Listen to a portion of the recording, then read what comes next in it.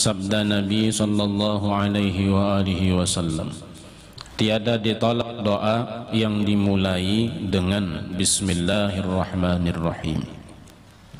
Dan sabdanya bahwasanya umatku datang. Mereka itu pada hari kiamat.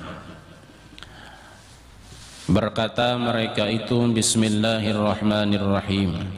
Maka berat kebajikan mereka itu pada mizannya maka berkata segala umat yang lain apa yang memberatkan timbangan umat Nabi Muhammad sallallahu alaihi wasallam? Maka berkata segala anbiya para nabi bagi mereka itu adalah umat Nabi Muhammad sallallahu alaihi wasallam.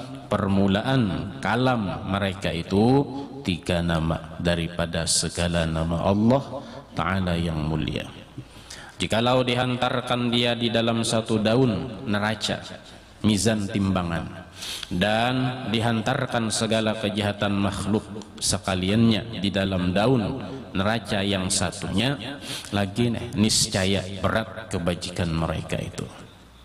Itu aja nang dibaca tadi. Padahal seluruh dihantarkan kejahatan makhluk masih berat kalimat itu. Sabdanya dan menjadi Allah Ta'ala akan ayat ini menyembuhkan daripada tiap-tiap penyakit jadi orang yang mengamalkan wirid Bismillahirrahmanirrahim itu bisa jadi obat sembuh daripada segala penyakit. Bismillah aja.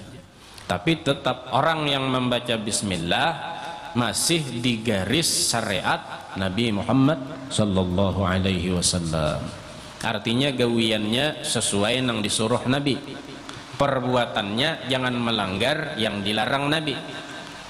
Lamun gawiannya kada sesuai yang disuruh Nabi.